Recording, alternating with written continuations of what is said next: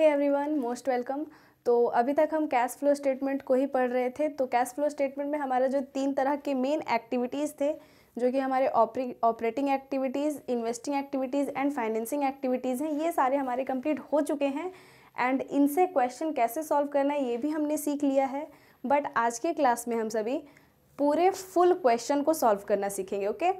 मतलब कि जब आपको क्वेश्चन में फाइनेंसिंग ऑपरेटिंग एंड इन्वेस्टिंग तीनों एक्टिविटीज़ की चीज़ें हो और आपको कैश फ्लो स्टेटमेंट बनाने को बोला जाए तो आप कैसे प्रिपेयर करोगे ओके तो बिना टाइम वेस्ट किए चलो स्टार्ट करते हैं।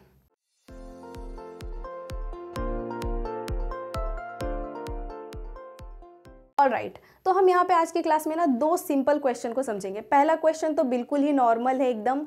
बस कैसे बनाते हैं इस चीज़ को समझेंगे हम इस क्वेश्चन से और जो सेकेंड क्वेश्चन है, वो थोड़ा सा नॉर्मल से अबव में है, जिसे हम मीडियम बोल सकते हैं। और इसका हमारा एक और लास्ट क्लास आएगा, जिसमें हम सभी थोड़े कठिन क्वेश्चंस को समझेंगे, ठीक है? जिसमें कि एडजस्टमेंट वगैरह होते हैं, ठीक है?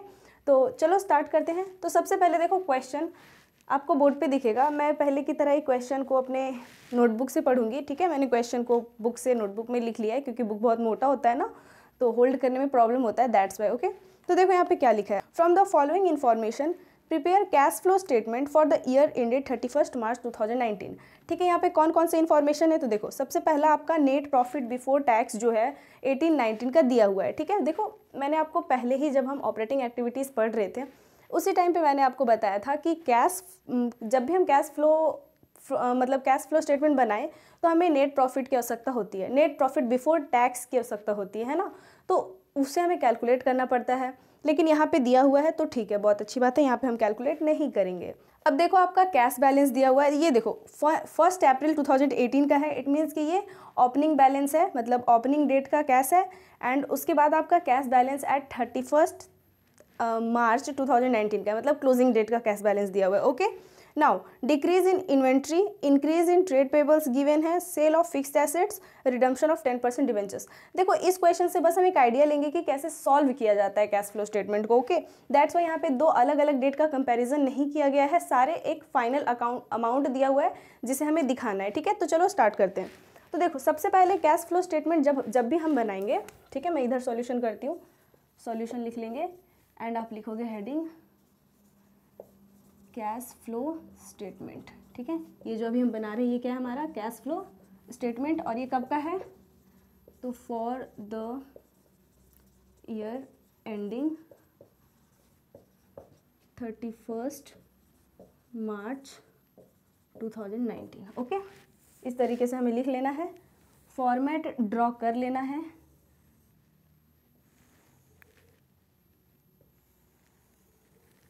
ओके, इस तरीके से हम फॉर्मेट ड्रॉ करेंगे।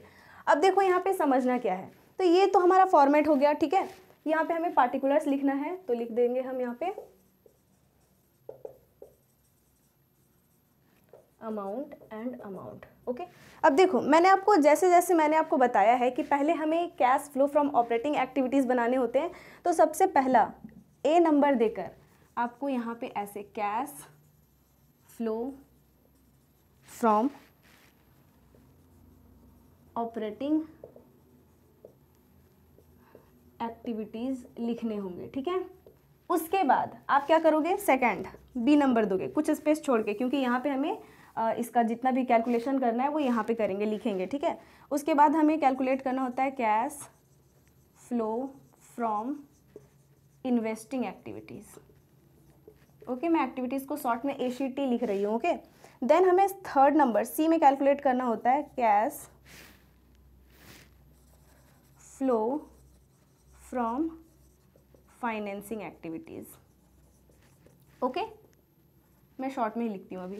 अब देखो, मैंने आपको पहले भी बताया है कि जब भी हम cash flow from operating activities की बातें करें तो किसी भी बिज़नेस में या जो भी, जिसका भी हम ये कैश फ्लो स्टेटमेंट बना रहे हैं, उसके ऑपरेटिंग खर्चों को लिखते हैं। ठीक है, जो बिज़नेस में डे टू डे ऑपरेट करने के लिए यूज़ होते हैं, उन खर्चों को लिखते हैं। देन है cash flow from investing activities. तो इसमें इन्वेस्टमेंट रिलेटेड लिखते हैं, जैसे कि कोई फिक्स एसेट्स परचेज किया आपने तो ये एक इन्वेस्टमेंट हुआ। आपने कोई लॉन्ग टर्म इन्वेस्टमेंट किया, लॉन्ग टर्म के लिए आपने कहीं अपने पैसे को इन्वेस्ट कर दिया तो वो भी आपका इन्वेस्टिंग एक्टिविटीज़ में आएगा। देन है आपका cash flow from financing activities. मतलब फाइनेंसिंग एक्टिविटीज़ में आपका लोन, शेयर्स और डिवेंचर्स से रिलेटेड चीज़ें आ जाएँगी, है ना? ये सभी मैंने आपको पहले भी बताया है। तो देखो, यहाँ पे आपको पहले तो मैं बताती हूँ कि करना क्या है। तो ये इस तरीके से देखोगे। अब देखो आपके क्वेश्चन में जो सबसे पहला वर्ड मतलब पहला दिया हुआ है, वो है नेट प्रॉफिट बिफोर टैक्स अब मैंने आपको पहले भी बताया कि नेट प्रॉफिट बिफोर टैक्स को हम किधर दिखाते हैं। तो याद करो ऑपरेटिंग एक्टिविटीज़ के क्लास में मैंने आपको बताया कि नेट प्रॉफिट बिफोर टैक्स जो है वो हम लोग ऑपरेटिंग एक्टिविटीज़ के हेड के नीचे दिखाते हैं। ठीक है? वो हमारा ऑपरेटिंग एक्टिविटीज़ में जाता है। तो यहाँ पे आपको लिखना होगा नेट प्रॉफिट बिफोर टैक्स मैं अभी एनपीबीटी लिख रही हूँ, आप मत लिखना शॉर्ट फॉर्म्स यूज़ करना आपको अलाउड नहीं है। ठीक है? एग्ज़ाम में वरना मार्क्स कटेंगे। तो नेट प्रॉफिट बिफोर टैक्स मैं एन लिख रही हूँ और इसका प्राइस कितना दिया हुआ है देखो? टू लाख रुपीज़ ठीक है? तो सिंपल से टू लाख रुपीज़ जो है, वो ऐसे अंदर वाले कॉलम में लिख देना ओके समझ गए बात? अब देखो क्या है? कैश बैलेंस फ़र्स्ट अप्रैल का मतलब ओपनिंग कैश बैलेंस और फिर कैश बैलेंस कहाँ पे लास्ट डेट का, ठीक है? मतलब क्लोजिंग कैश बैलेंस तो इसका यूज़ आपको कैश फ्लो स्टेटमेंट में नहीं करना है। कैश फ्लो स्टेटमेंट में उन्हीं चीज़ों का यूज़ होगा जिससे कैश आता है या कैश जाता है। जो पहले से कैश है, उसका आपको काम अभी नहीं करना है। इसका काम कहाँ करेंगे, ये मैं अभी आपको बताऊँगी इसी क्लास में। ठीक है तो पहले घबराना नहीं। अभी इन दोनों जो अमाउंट है, जो ओपनिंग का और क्लोजिंग का, इसे अभी साइड करो। ठीक है इग्नोर करो। उसके बाद बताती हूँ वो कहाँ यूज़ होते हैं। देन है आपका डिक्रीज इन इन्वेंट्री तो देखो बच्चों, मैंने आपको बताया था कि अगर आपका करेंट एसेट्स और करेंट लाइबिलिटीज़ में बदलाव होता है तो उसे हम कहाँ दिखाते हैं? तो मैंने आपको पहले ही क्लास में बताया था कि ये भी हमारा ऑपरेटिंग से रिलेटेड है, ये भी हमारा ऑपरेटिंग में जाएगा। लेकिन याद करो फॉर्मेट जो मैंने आपको बताया था कि ऑपरेटिंग एक्टिविटीज़ में नेट प्रॉफिट बिफोर टैक्स दिखाने के बाद हमें नन ऑपरेटिंग एक्टिविटीज़ मतलब नन ऑपरेटिंग इनकम्स और एक्सपेंसेस को भी दिखाने पड़ते हैं। अगर नन ऑपरेटिंग इनकम है तो उसे लेस करते हैं और नन ऑपरेटिंग लॉसेस हैं तो उन्हें ऐड करते हैं। ये मैंने आपको बताया था, लेकिन यहाँ पे कोई भी क्वेश्चन में नन ऑपरेटिंग एक्सपेंसेस या लॉसेस या इनकम नहीं दिया हुआ है, ठीक है? तो यही हमारा जो टू लैख है, यही हमारा net sorry operating profit before working capital changes हो जाएगा, ठीक है? तो आप यहाँ पे इसे ऐसे करके मतलब टू लैख लिख कर ओके? टू लैख लिख कर यहाँ पे नेट नहीं, ये ऑपरेटिंग है। Operating profit before working capital changes आप लोग लिख सकते हो। ओके आई बात समझ में? अब इसमें जो हमें क्या करना है वर्किंग कैपिटल का काम करना है। वर्किंग कैपिटल का काम कैसे करते हैं? तो मैंने आपको बताया कि इसमें हमारा करंट एसेट्स और करंट लाइबिलिटीज़ यूज़ होता है। लाइबिलिटीज़ का सीधा रूल है कि अगर लाइबिलिटीज़ इंक्रीज़ हो रहा है तो उसे ऐड कर देते हैं और अगर डिक्रीज़ हो रहा है तो उसे लेस कर देते हैं। यही करते हैं ना? मैंने आपको पहले भी बताया। तो यहाँ पे अब वही काम हमें करना है। इफ़ अगर करंट लाइबिलिटीज़ कोई दिया हुआ है और बढ़ रहा है तो उसे जोड़ देंगे और अगर घट रहा है तो घटा देंगे। वहीं अगर करंट एसेट्स है तो बढ़ रहा है तो घटा देंगे और अगर घट रहा है तो ऐड कर देंगे ओके तो यहाँ पे देखो क्या दिया हुआ है आपका?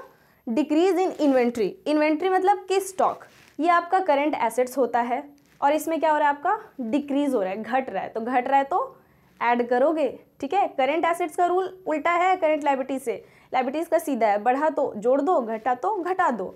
और करंट एसेट्स का घटा तो जोड़ दो, और अगर बढ़ा बढ़ा तो घटा दो, ठीक है? तो यहाँ पे आपको क्या करना है? ऐड करोगे डिक्रीज इन इन्वेंट्रीज ठीक है, ये क्या है आपके? करंट एसेट्स हैं। मैं यहाँ पे ऐसे करंट एसेट्स लिख देती हूँ। और कितने दिए हुए हैं आपके? फिफ्टी थाउज़ेंड रुपीज़ तो फिफ्टी थाउज़ेंड आपको यहाँ पे लिखने होंगे। देन आपका दिया हुआ है इंक्रीज इन ट्रेड पेबल्स अब देखो बच्चों, ये जो ट्रेड पेबल्स है, ये क्या है आपका? करंट लाइबिलिटीज़ है।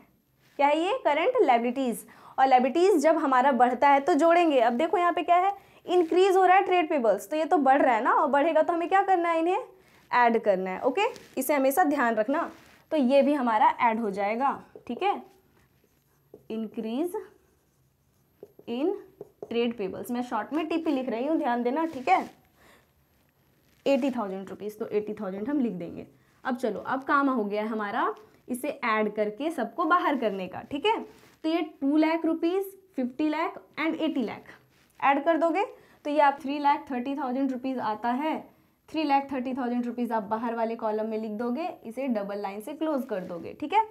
अब देखो, ये क्या है आपका? ये जो आपका आया है three lakh thirty thousand rupees ये आपका क्योंकि प्लस में आया है, इसलिए ये आपका है net cash flow from operating activities आई बात समझ में? अब देखो, एक तो हमारा बन गया ऑपरेटिंग एक्टिविटीज़ एक पार्ट कंप्लीट हुआ। अब आते हैं हम लोग इन्वेस्टिंग एक्टिविटीज़ की तरफ़। अब देखो, क्या है? सेल ऑफ़ फिक्स्ड एसेट्स अगर आप कोई भी फिक्स एसेट्स परचेस करते हो तो ये आपका इन्वेस्टमेंट है। और अगर सेल करते हो तो ये आपका इन्वेस्टमेंट से ही आपने सेल किया है। इससे आपका इन्वेस्टमेंट कम होता है। समझे? लेकिन इन्वेस्टमेंट कम होता है, ये हमें नहीं सोचना। हम तो यहाँ पे कैश फ्लो स्टेटमेंट बना रहे हैं तो हमें कैश से मतलब है। अगर आप कोई भी चीज़ें सेल करते हो तो आपके पास कैश आता है ना? यस अगर मैं ये मार्कर को सेल करती हूँ तो मेरे पास तो कैश आएँगे तो मैं उसे ऐड करूँगी ना अपने इनकम में। तो यहाँ पे हम कैश फ्लो स्टेटमेंट बना रहे हैं। तो यहाँ पे अगर फिक्स एसेट्स को बेचा गया है तो उससे कैश हमारे पास आए हैं ना तो हम उन्हें क्या करेंगे? ऐड करेंगे ओके तो सीधा आप लिखोगे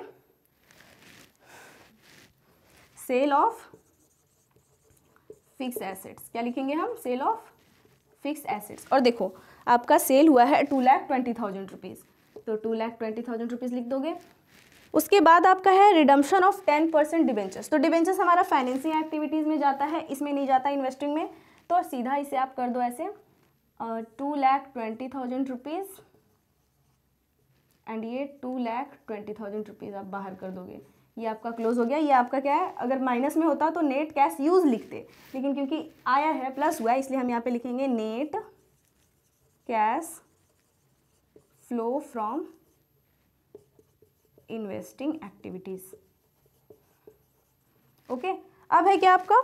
कि redemption of ten percent debentures ten percent debentures का जो है, वो क्या हो गया है? रिडम्पशन हो गया है। ठीक है? टेन परसेंट डिवेंचर्स को आपने पे कर दिया। तो डिवेंचर्स रिलेटेड भी हमारे फाइनेंसिंग एक्टिविटीज़ में ही आते हैं।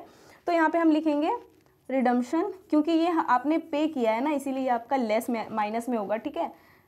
Redemption of ten percent debenture और ये अमाउंट कितना है? Four lakh rupees.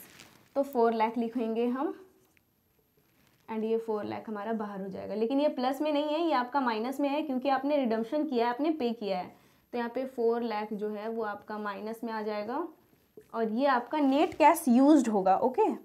Net cash used in financing activities. Financing activities, okay? आई बात समझ में? और ये आपका इस तरीके से हो जाता है। अब क्या करना है? इतना काम तो कर लिए, क्या हमारा कंप्लीट हो गया कैश फ्लो स्टेटमेंट एकदम नहीं।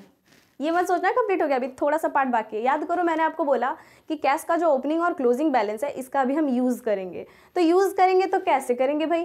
तो अभी बता रही हूँ ना? अभी इसीलिए तो मैंने बचा के रखा था, अभी बताने के लिए। अब देखो मैं क्या बता रही हूँ। अब यहाँ पे जो आपका ये तीन अमाउंट आया है ऑपरेटिंग इन्वेस्टिंग फाइनेंसिंग इन्हें आपको ऐड करना पड़ता है। तो चलो ऐड करके देखते हैं। Three lakh thirty thousand plus two lakh twenty thousand. It is five lakh fifty thousand rupees and फिर प्लस इसमें करोगे minus four four lakh rupees okay ये माइनस है। तो प्लस माइनस आपका क्या हो जाएगा? माइनस ही हो जाएगा। एंड यहाँ पे आप फोर लैख माइनस कर दोगे तो one lakh fifty thousand rupees बचता है। देखो one lakh fifty thousand rupees plus में बच रहा है ना? माइनस में तो नहीं बच रहा। तो प्लस में बच रहा है। इसीलिए हम यहाँ पे क्या लिखे? इसमें आया है, इसलिए हम यहाँ पे लिखेंगे डी नंबर देकर लिखना, ठीक है? Net increase in cash and cash equivalents और ये क्या आएगा? यहाँ पे बाहर में अमाउंट लिखोगे, ये आपका अमाउंट आया one lakh fifty thousand rupees तो one lakh fifty thousand rupees लिख दोगे। अब यहाँ पे क्या करना है कि अब आपको देखना है ई e नंबर देकर लिखोगे मतलब sorry one lakh fifty thousand rupees लिख दिए। अब इसमें आपको ऐड करना है। देखो, आपके क्वेश्चन में जो है, वो वन अप्रैल का कैश बैलेंस दिया हुआ है फ़र्स्ट अप्रैल का। कितना दिया हुआ है, देखो क्वेश्चन में। तो फ़र्स्ट अप्रैल का आपका दिया हुआ है one lakh ten thousand rupees okay and thirty first March का आपका दिया हुआ है two lakh sixty thousand rupees तो ये जो ओपनिंग डेट वाला बैलेंस होता है, इसे आपको यहाँ पे ऐड करना है। जो भी आपने ये वन टू थ्री को ऐड करके जो आपका अमाउंट आया उसमें, ठीक है? तो यहाँ पे ऐड करोगे। देंगे हम cash and cash equivalent at beginning ठीक है? स्टार्टिंग में जो है, उन्हें आपको ऐड करना पड़ता है। तो कितना है? One lakh sixty thousand rupees sorry one lakh ten thousand rupees तो one lakh ten thousand rupees दिखा दोगे। इस तरीके से तो ये आपका one lakh sixty thousand rupees sorry two lakh sixty thousand rupees आता है।